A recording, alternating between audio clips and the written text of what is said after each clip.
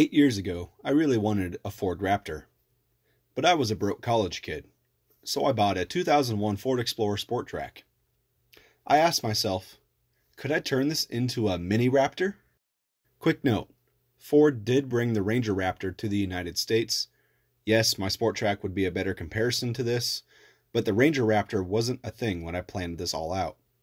So I'm sticking with the F 150 Raptor. To consider it a mini Raptor, it needs to share a few specs with the actual Raptor. The 2014 model year Raptor had a 410 gear ratio, a locking rear differential, a limited slip front differential, basically a 35 inch tire, and about 411 horsepower and 430 foot pounds of torque. The 2001 Sport Trac also had a 410 gear ratio, but it had an open rear differential, an open front differential, some just regular 28, 29 inch tall tires, and about 205 horsepower to its name. Hmm. I think we can make some of those happen. I picked up a set of 35 inch tires. They are Kenda Klever RTs, the 35 10.5 R17s. They're wrapped around bronze 17 by 9s for some extra pizzazz.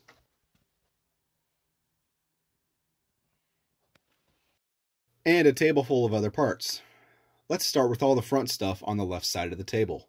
I had planned to install an Eaton e-locker into the front differential, but that didn't happen, and you'll see why later. The front differential will get a set of 513 to 1 gears to help turn those 35 inch tires. The front torsion keys will also not be installed in this video, and at the back we have the complete bearing kit for the front Dana 35 IFS differential. On to the rear. We have a set of 513 to 1 gears to match the front. We have a Spartan locker for the differential, a complete Ford 8.8 bearing kit, lift shackles which also won't be installed for now. Lastly, a C-clip eliminator kit for the Ford 8.8. Later on in the video, you'll see why these are important. Let's dive in, starting with the most important part of all. Tires!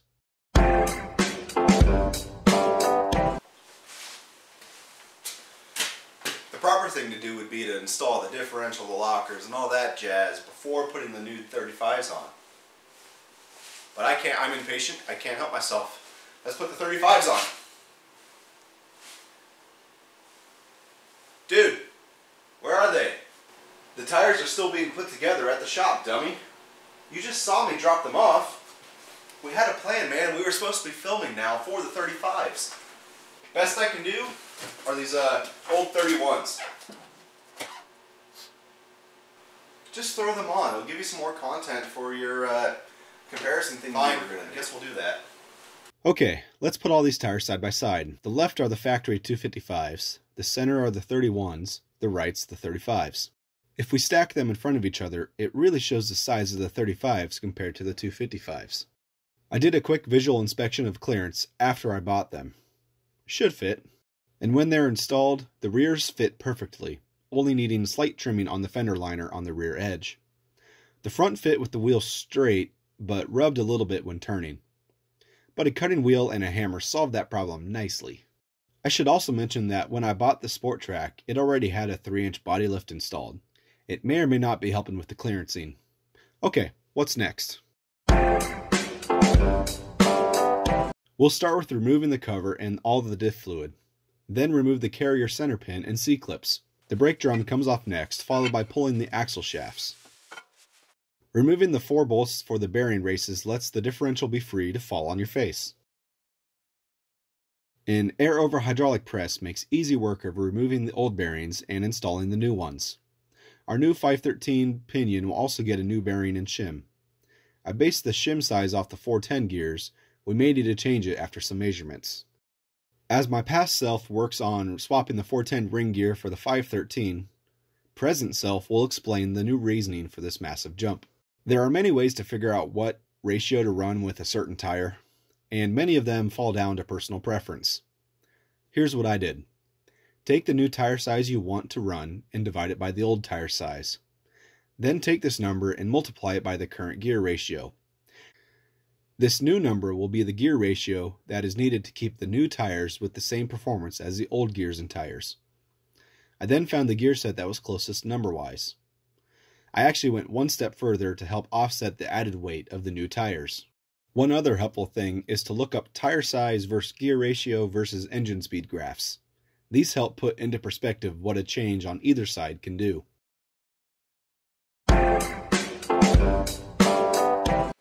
The locker I chose for the rear is a Spartan locker. It is one of the simplest types of lockers to install. It replaces all of the internals of the open carrier design. There are four main pieces to this locker two outers and two inners. The outers are where the axle shafts grab, and the inners are the actual locking mechanism. Each inner piece has two spring-loaded pins. These nest into the grooves on the opposite piece. These pins keep the outward pressure to lock both sides together. When the differential is not under power, these pins allow the edge pieces to slide over each other, allowing for an open differential type turning performance. This is where I encountered a problem with the locker. The center pin doesn't clear the ring gear teeth. Turns out, certain Ford 8.8s that have the 410 or a 513 gear ratio have ring gears that are too thick to clear the carrier center pin. This means the ring gear needs to come off to install the locker properly. Then the ring gear gets reinstalled. This creates a second problem with installing the axle shafts. The center pieces of the locker need to be removed to install the C-clips for the axles. Because the center pin is now pinned in by the ring gear, there would be no way to install the C-clips for the factory axles. Getting a set of C-clip eliminator axles will solve this problem. These used a pressed bearing on the axle housing end to hold everything in place, meaning there is no C-clip inside the differential to worry about. Full disclosure, I did not know about this problem when I was ordering parts. For budgetary reasons, I almost didn't buy the new axles and people think us YouTubers know what we're doing.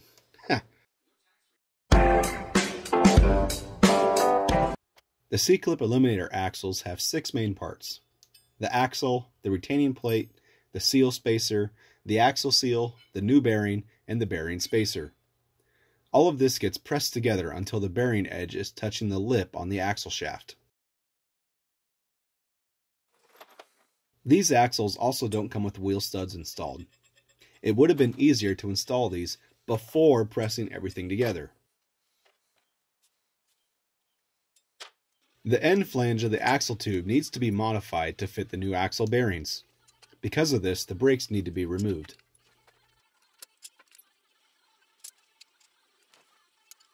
Next, the brake mount gets removed and hung off to the side, being careful not to bend the brake line.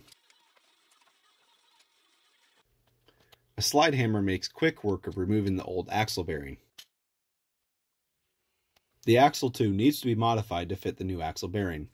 This requires the axle tube to be cut back flush with the lip of the flange.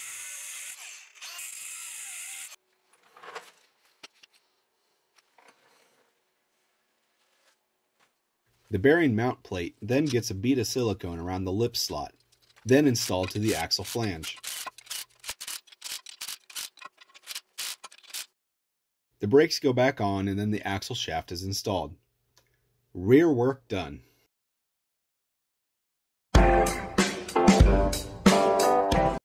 This video is focusing on the front differential. There's links to previous videos where I replaced all the front suspension components. The front CV shafts can be popped out using a pry bar. I think these shafts have been removed before. It didn't take much force to pop the shaft out. With the axle popped out, the whole shaft can be removed. There are only three bolts holding the differential assembly in place. It's good practice to use a floor jack to support the differential while removing the bolts. These things are quite heavy and awkward. Being able to remove the differential and work on it at bench height is such a great change from working on the ground.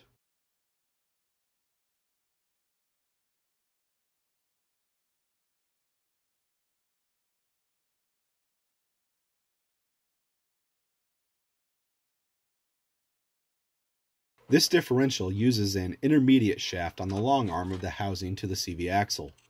This shaft is held in place the same way as a CV axle, so a screwdriver works well to pop it free. Then pliers can be used to remove it completely.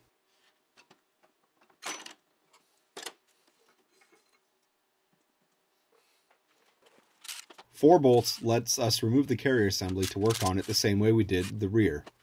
And we can also clean up the whole housing. Bit of a time jump because the schedule for leaving for Sand Hollow was coming up fast, but everything is reinstalled with the new 513 gears. But no e-locker. So, I messed up when ordering parts. The e-locker I ordered is nowhere near close to fitting the housing. I should have done my research better.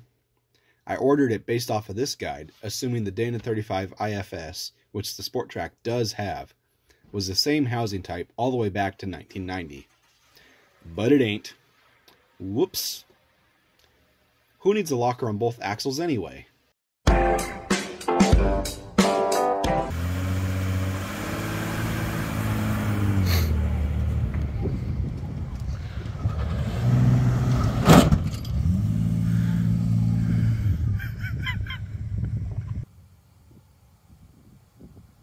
That had to hurt.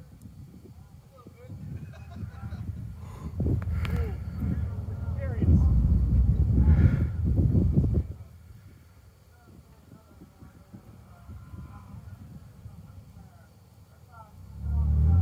Down and. Oh boy.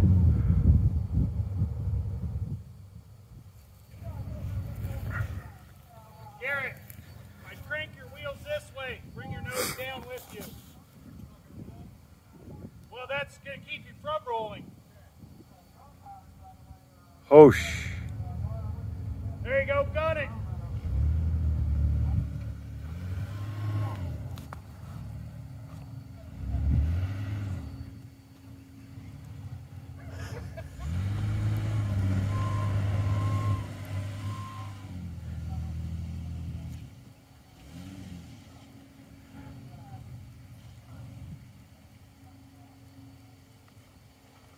oh, he's going to do it again, isn't he? Dune wins.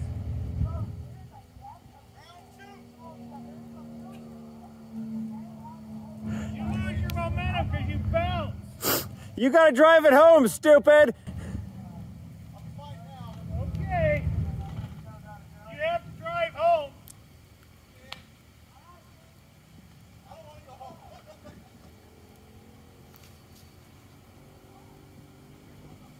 Okay.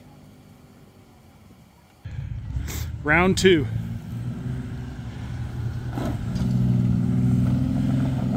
Uh oh. Frame.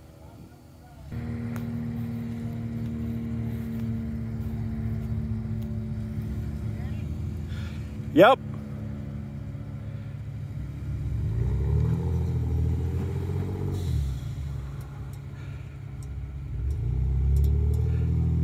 You're to have to.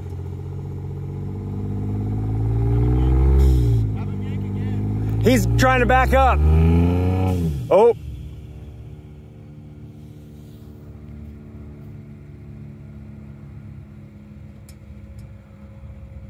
Done. Is he ready? Are you ready? Yep. Okay.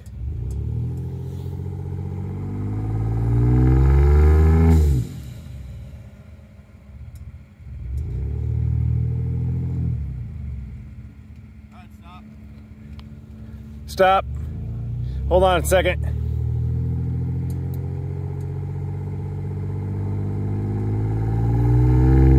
You got the tension off at least?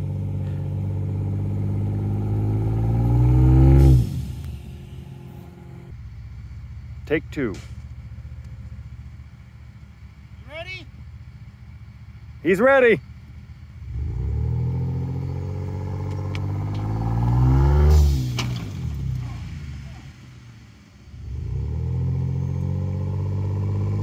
I'd back it up and give her another run. You moved him, but you're to have to jerk him again.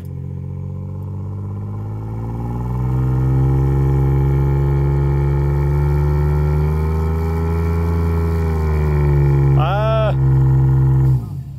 yeah, you're burying. You got slack. Yeah. All right, take three. Garrett said he's ready.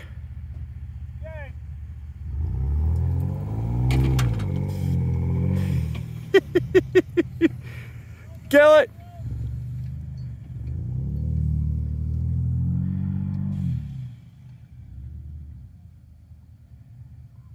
And I guess we'll be able to drive home tonight, so far.